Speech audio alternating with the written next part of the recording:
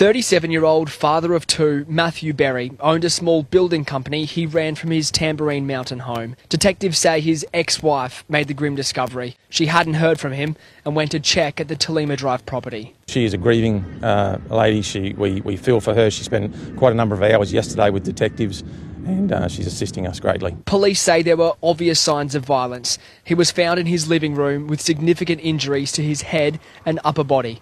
Detectives canvassed the area, going door to door, speaking to neighbours.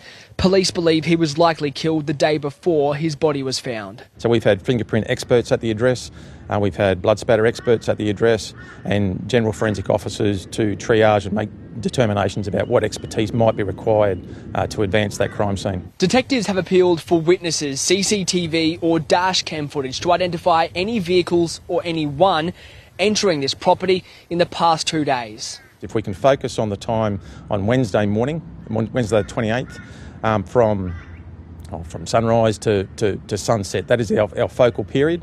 Um, but of course, um, we will we will be looking either side. But that, that's the time that we believe is critical to their investigation. Anyone with information should contact Crime Stoppers. Mackenzie Colahan, ABC News.